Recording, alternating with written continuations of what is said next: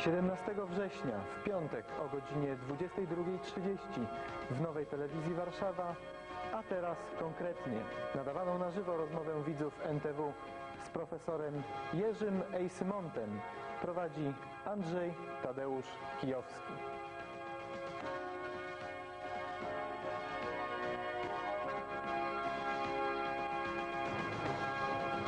Dobry wieczór Państwu. A teraz konkretnie z profesorem Jerzym Eismontem. 17 września to dla profesora Eismonta na pewno ważna data, rocznik 37, urodzony e, na Wołyniu, młodość spędził w Kazachstanie.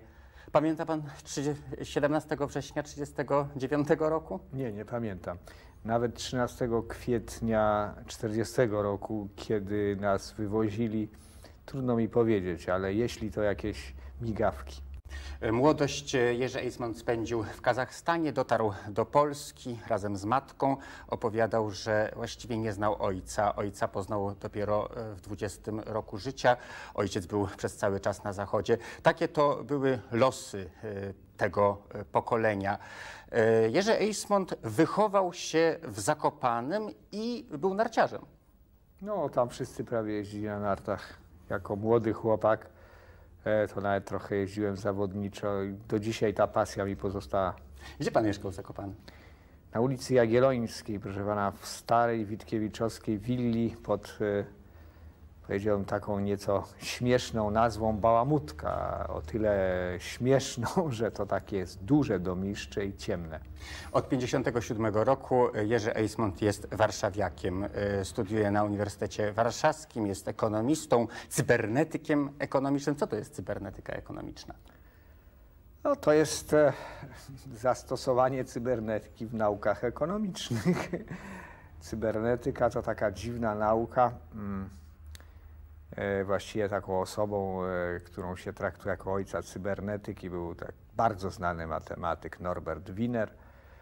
I tutaj chodziło o znajdywanie analogii pomiędzy funkcjonowaniem różnego rodzaju organizmów żywych, mechanicznych i społecznych. Są pewne prawidłowości. Procesy regulacyjne, jakie zachodzą w tych organizmach, mają swoje duże podobieństwa i stąd pewne można wyciągać analogiczne wnioski, no i tak dalej, i tak dalej. Sądzę, że mm, to by trochę zanudziło Tak, więc analogie i gospodarka, bo e, Jerzy Eismont jest e, specjalistą od ekonomii. E, Przychodzą lata 80. Jest ich trzech. Jeden się nazywa Balcerowicz, drugi się nazywa Bugaj, trzeci się nazywa Eismont. Jest ich wielu, jest ich kilkunastu. Siedzą i krytykują gospodarkę socjalistyczną. Czy ci trzej panowie których wymieniłem, Balcerowicz, Bugaj, Eismont, byliby w stanie w tej chwili siąść przy jednym stole i na przykład rządzić ekonomią naszego kraju? E, Sądzę, że z trudnością. To e, wie pan, mimo wszystko e, mnie byłoby łatwiej w tej roli usiąść z Leszkiem Balcerowiczem. Co nie znaczy, że wszystkim żeśmy się zgadzali. Z Ryśkiem Bugajem, no mówię w ten sposób, jako że byliśmy kolegami, nie sądzę, żeby był powód, żeby przejść na pan, e, który dzisiaj jest, e, jak to się teraz nazywa, liderem Unii Pracy, no dzieli nas sporo, ale i wówczas nas dzieliło. Wówczas nawet kiedy byliśmy wspólnie doradcami Komisji Krajowej e, Solidarności, po prostu on zawsze był lewicowy i to mm, i tego nie ukrywał uważam, że to jest godne szacunku. A no a ja raczej prawicowy. Czy jest pan bardziej prawicowy od Balcerowicza? E, Proszę pana, to jak wiadomo są liczne spory w tej chwili pomiędzy politologami, e, co to w ogóle jest e, obecnie, co znaczy lewica i prawica, i są pojęcia nieostre i tak dalej. Przypuszczam, że mm, jeśli chodzi o nasze poglądy na sprawy makroekonomiczne, którymi e, obaj się najbardziej interesujemy, to e, generalnie one są zbliżone. Powiadam, generalnie są zbliżone, choć e, Leszek Balcerowicz jest może bardziej rygorystycznym, no nie monetarystą. To jest szalone uproszczenie, że on jest takim wielkim monetarystą, ale powiedzmy, y, powiedzmy sobie e, bardziej no, ortodoksyjnym zwolennikiem e, takiej, takiej wielkiej dyscypliny e, dyscypliny pieniężnej. Do prezentacji profesora Jerzego Esmonta trzeba jeszcze dodać, że w rządzie e, Jana Krzysztofa Bieleckiego i następnie Jana Olszewskiego był ministrem, szefem Centralnego Urzędu Planowania. No właśnie, Centralnego Urzędu Planowania w gospodarce już kapitalistycznej. Czy istnieje coś takiego jak planowanie e, w gospodarce, która chce być kapitalistyczną? Po pierwsze, nie jest to jeszcze gospodarka e, kapitalistyczna. Mm, Niestety, moim zdaniem, oby jak najprędzej była. Y, Mechanizm rynkowy mm, nie jest jeszcze w pełni y, zorganizowany. Y, Nie ma na przykład, a właściwie jest dopiero w zalążkach rynek kapitałowy. Rynek, który w takiej dojrzałej gospodarce kapitalistycznej reguluje przemiany strukturalne, powoduje, że struktury gospodarcze e, jak gdyby w pewnym sensie automatycznie dostosowują się do, e, są efektywne, dostosowują się do, mm, do zmian, jakie w świecie zachodzą. Mm, No, u nas ta sytuacja nie jest taka, e, więc tu można by powiedzieć, że stopień interwencji państwa e, także w samym procesie transformacji, to takie też jest modne powiedzenie, czyli tej przemiany ustrojowej, e, musi być, przynajmniej moim zdaniem, większy niż, e, miejmy nadzieję, będzie, jak to już dojrzeje. Jesteśmy już w centrum naszej rozmowy. 20 79 11, 20 57 53. Nasza rozmowa nadawana jest na żywo razem z Jarosławem Kretem. Oczekujemy na Państwa telefony. Y, Pan Eismont jest gotów odpowiadać. Y, Dotknęliśmy y, problemu interwencjonizmu państwowego. A więc jak? Za dużo czy za mało interwencjonizmu państwowego w tym państwie, w którym dzisiaj żyjemy? E, No to znowu wchodzimy w ogromną kontrowersję i to w dodatku pod koniec e, kampanii wyborczej.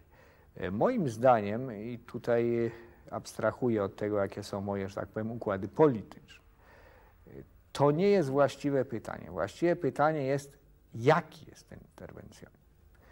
Otóż e, na pewno interwencjonizm mm, w tym okresie transformacji musi być inny.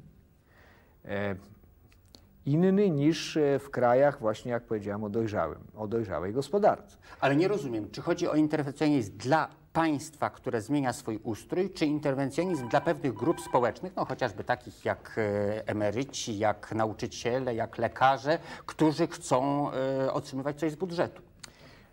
A proszę pana, to jest, tego się nie da rozdzielić.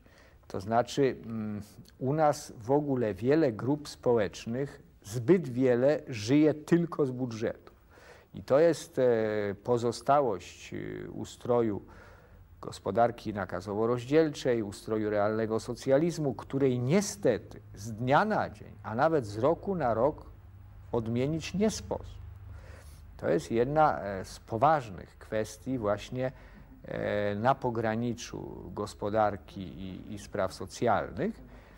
E, Myśląc jednak o interwencjonizmie, ja przede wszystkim mam na myśli ingerowanie państwa w mechanizmy gospodarcze, ingerowanie w warunki regulacyjne, czyli jak gdyby dopełnianie rynku. To może przebiegać w różny sposób, w sposób administracyjny i to jest źle. I tego powinniśmy jak najszybciej. y, To właściwie już w tej chwili prawie nie istnieje. Ale może przebiegać w sposób zgodny z generalną regułą, czyli poprzez strumienie finansowe i poprzez generalne regulacje prawne, takie jak prawo podatkowe, jak prawo celne, jak prawo o y, powstawaniu i likwidacji podmiotów gospodarczych i tak dalej, i tak. Wrócimy do tego wątku. Pierwszy telewidz się do nas dodzwonił. Słuchamy. Dzień dobry, dobry wieczór. Chciałem się zapytać, dlaczego rząd trzyma y, się od dłuższego czasu y, kurczowo y, w- relacji dolar-złotówka, marka-złotówka, w ogóle zachodnie waluty. Dlaczego nie urealni tego kursu, który stworzyłby nowe miejsca pracy poprzez większy eksport? No, wszystkie państwa zyskiwały na dużym eksporcie, a my raczej obracamy się w kółko i robimy jakieś małe skoki w dolarze. To jest pierwsza sprawa.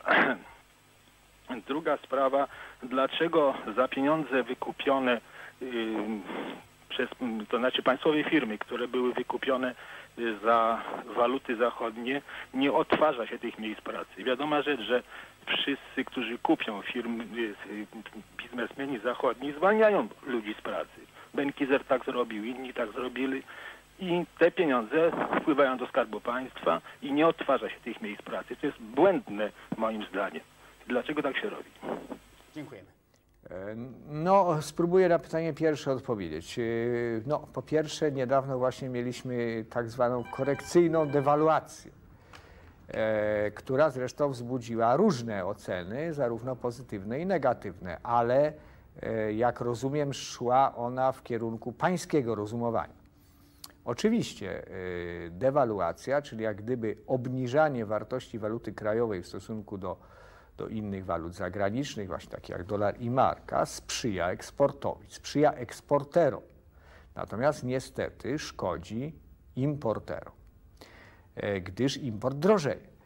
E, I ostrożność, jaka w tej dziedzinie jest przejawiana przez chyba wszystkie rządy, to rzeczywiście tu się z Panem zgadzam, wynika z tego, że my ciągle jesteśmy w warunkach wysokiej inflacji. I po prostu y, chyba główną obawą jest tutaj, czy to nie będzie tak zwany impuls inflacyjny, czyli czynnik, który spowoduje e, szybki e, wzrost cen w kraju. E, A więc tu jest zawsze takie wybieranie między, no powiedzmy sobie, co, jak gdyby są dwie strony, prawda? I trzeba sobie w konkretnym momencie odpowiedzieć, co jest ważniejsze. E, Druga sprawa, którą Pan poruszył. Mm, Proszę Pana, ja może zacznę od tych zwolnień. Otóż y, ja się, y, chociaż dla pracownika danego zakładu, oczywiście brzmi to niesympatycznie, niemniej mm, nie ulega wątpliwości, że y, myśmy mieli do czynienia w całym okresie gospodarki komunistycznej, czy, czy, czy socjalistycznej, czy planowej, jak Pan woli, mm, y, to się na Zachodzie nazywa nadzatrudnienie. Czyli po prostu sytuację taką, gdzie y, zbyt wiele ludzi pracuje, co pracuje, co de facto obniża wydajność pracy. To się też czasami nazywa bezrobociem ukrytym. I jeżeli przychodzi prywatny właściciel, którego normalnym motywem jest zysk, to on mówi, kochani, y, mnie do tej roboty wystarczy na przykład tysiąc ludzi, a a jest was zatrudnionych dwa Czy to znaczy, że bezrobocie w tej chwili w Polsce jest za duże, za małe?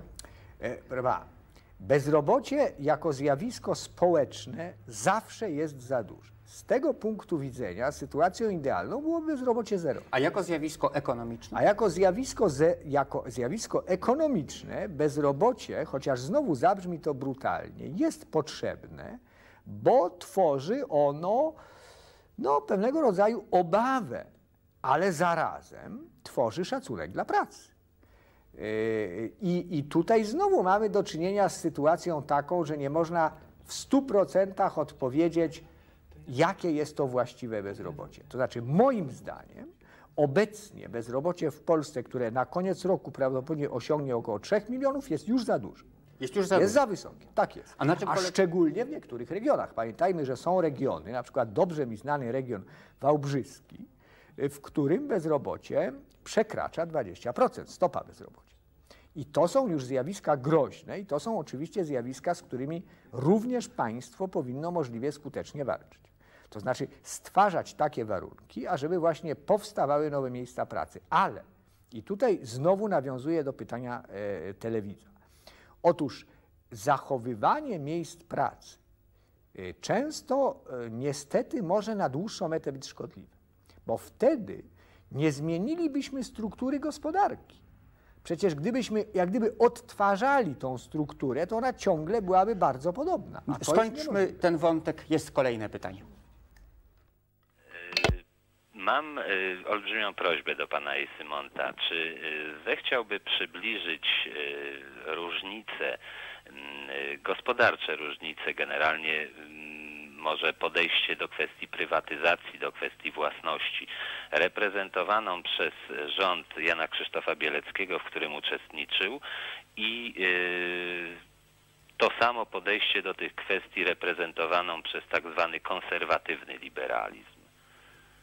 Dziękujemy bardzo. E, otóż e, mm, y, ja e, przyznam się, że nie wiem dokładnie, e, co pan ma na myśli, mówiąc o konserwatywnym liberalizmie, aczkolwiek takie pojęcie istnieje. E, ja może zacznę od początku pańskiego pytania. W tym czasie mm, resort y, prywatyzacji znajdował się w rękach y, zresztą obecnego ministra y, przekształceń własnościowych, pana Janusza Lewandowskiego. Y, On y, był chyba osobą głównie kształtującą politykę prywatyzacyjną, nie tylko jednak. Pamiętajmy, że y, w czasie rządów premiera Przepraszam, Ja Bieleckiego. jednak ukonkretnię pytanie. proszę Czy jest bardzo. pan za e, reprywatyzacją gruntów warszawskich? Niektórzy twierdzą, że rządu, budżetu na to nie stać, bo to około biliona złotych. E, Tak czy nie? Pana, e, t- e, oczywiście pytanie pańskie jest nowe i ja jestem skłonny na nie odpowiedzieć. E, e, Nie potrafię potwierdzić tej kwoty, natomiast jestem za dokonaniem reprywatyz- rozstrzygnięcia sprawy reprywatyzacji gruntów warszawskich. Tu jestem bardzo konkretny, to znaczy trzeba wreszcie w tej sprawie podjąć taką decyzję, która spowoduje, że będzie dokładnie wiadomo, do kogo należy prawnie każdy kawałek gruntu w tym mieście. Gdyż inaczej my nie ruszymy z poważnymi inwestycjami, chociażby, które dla miasta są konieczne i gdzie inwestorzy są, gdzie inwestorzy byliby skłonni prawda, zainwestować, tylko oni nie wiedzą i z kolei, z, kolei, z kolei nie bardzo wiadomo, kto ma im to Czy, istnieje, czy to prawda, że istnieje przełożenie pomiędzy e, właśnie reprywatyzacją gruntów warszawskich, a na przykład budową metra w Warszawie?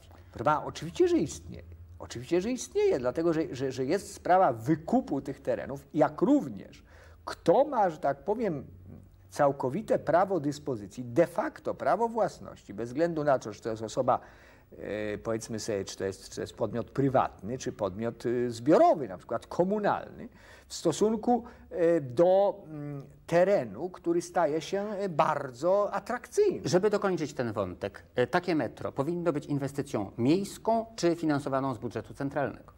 E, Nie, nie, to znaczy y, sądzę, że metro w stolicy y, kraju y, zawsze będzie, y, jest to inwestycja wszędzie duża, kosztowna i z reguły dofinansowywana przez budżet państwa. Ale chodzi o to, żeby ona była możliwie efektywna. To znaczy również w samym procesie budowy trzeba szukać źródeł dodatkowego finansowania i te źródła można znaleźć.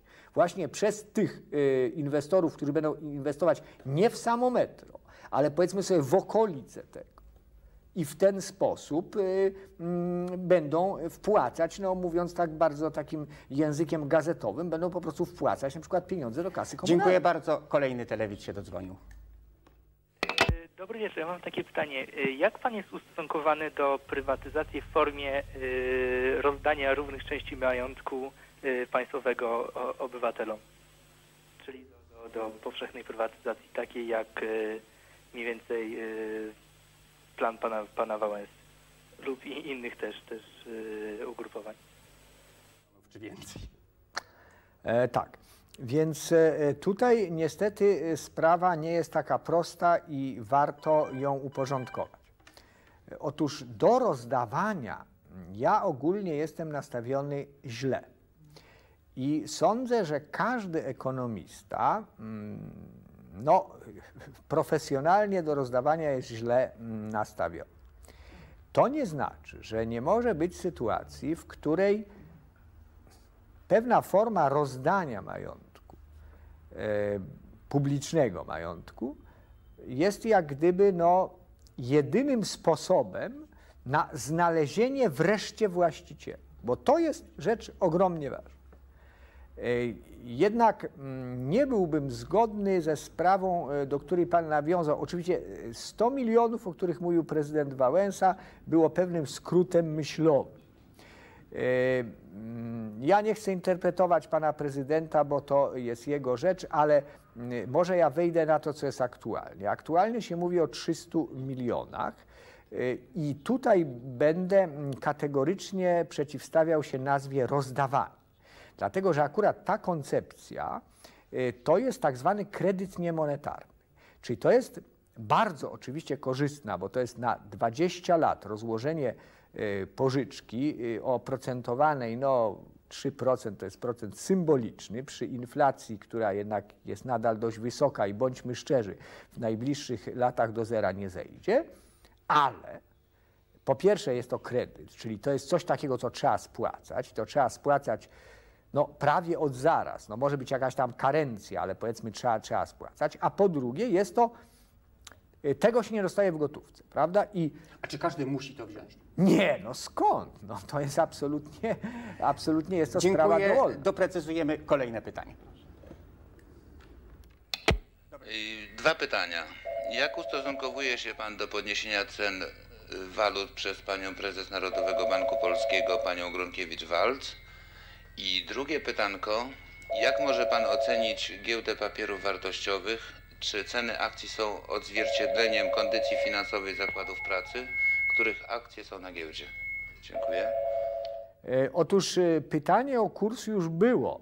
E, Ja mm, jeszcze raz w takim razie powtórzę. Każda dewaluacja Ale to może nie powtarzajmy, no, bo ma swoje dwie strony. słyszeli odpowiedź.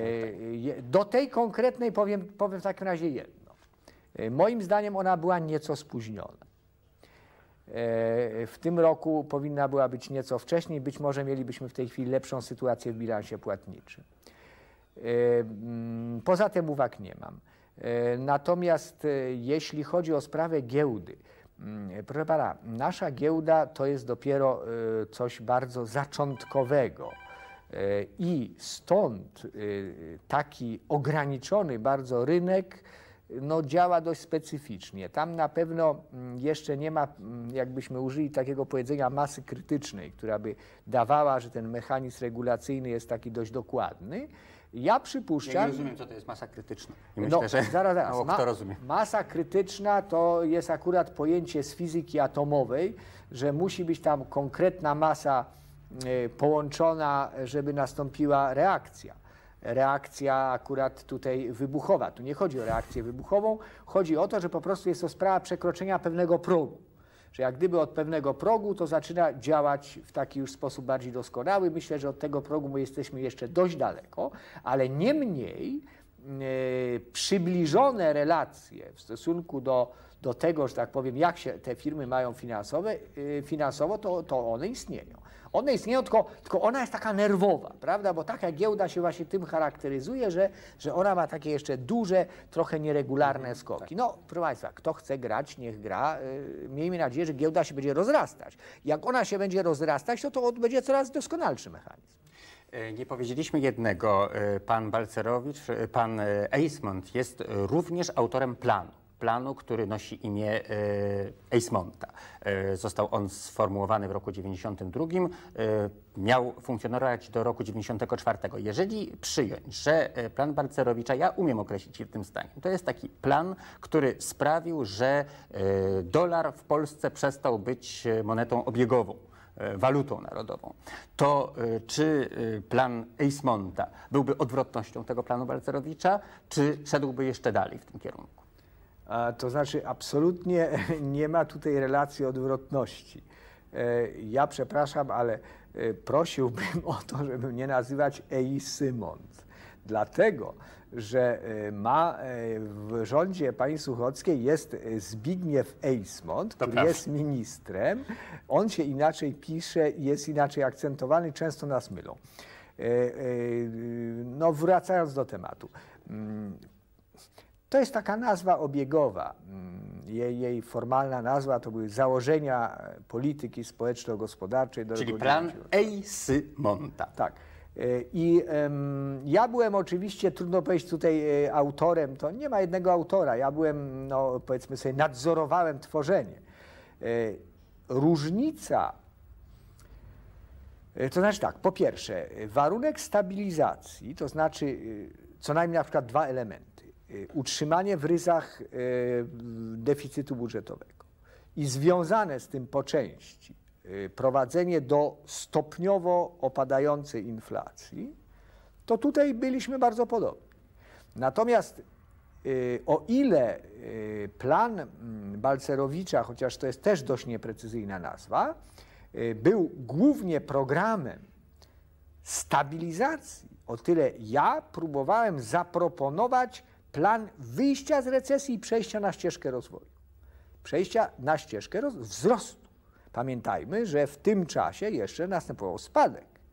I ja nieskromnie powiem, że mimo wszystko pewne narzędzia, jakie w tym planie były zaproponowane i sposoby y, na politykę gospodarczą, moim zdaniem przyczyniły się do tego, że od drugiego kwartału 92 roku zaczął się wzrost y, produkcji. Dziękuję. Kolejne pytanie.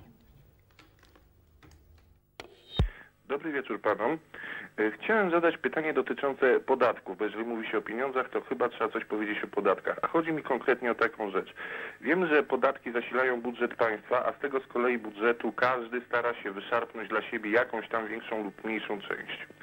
E, Chciałem się spytać, czy nie byłoby celowe na pewne określone działy gospodarki lub działania wydzielić z dochodów podatkowych coś, co określiłbym podatkiem kierunkowym, celowym. Dziękuję.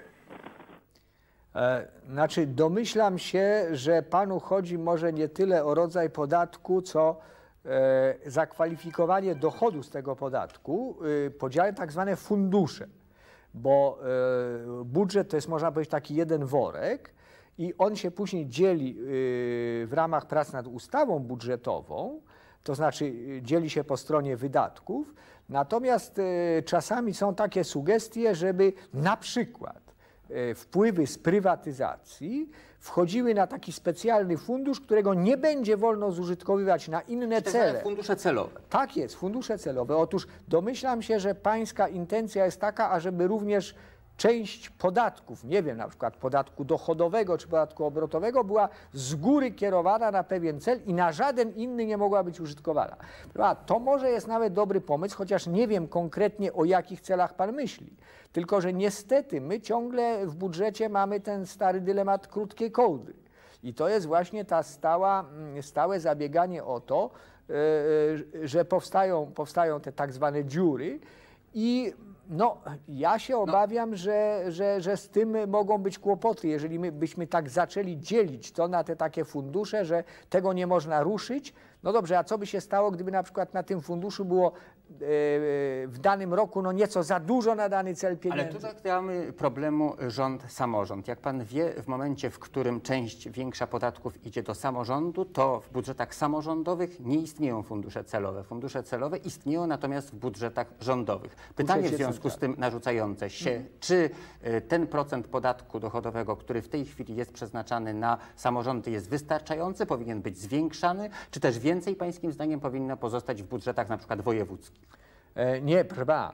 Ja jestem za tym, żeby e, dochody podatkowe, w szczególności z podatku dochodowego, były w znacznie większym stopniu przesuwane na rzecz samorządów e, na poziomie podstawowym. Ale to będzie oznaczało, że nie będą to dochody, które będą Proszę szły w pana, fundusze celowe.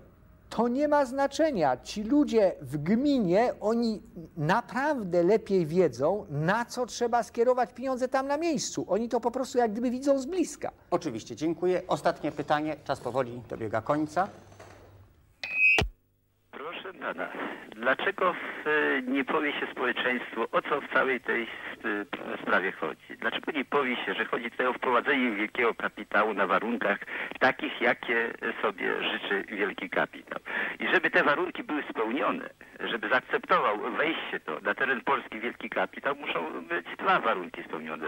Prywatna własność środków produkcji i rynek pracy. I przez e, cały ten okres czterech lat wszystko, co się działo w gospodarce, to działo się wokół tych dwóch problemów. E, Pan e, profesor Es- Eismont również o tym mówił w swoim czasie na wykładach. Dlaczego o tym się nie mówi wyraźnie? Dlaczego pod tym kątem nie tłumaczy się społeczeństwo tych wszystkich manewrów, jakie się robi w kierunku urabiania chociażby rynku pracy, urabiania tych ludzi, żeby podporządkować pod te problemy, które powiedzmy są niezbędne przy uruchamianiu wielkiego kapitału. Panie profesorze.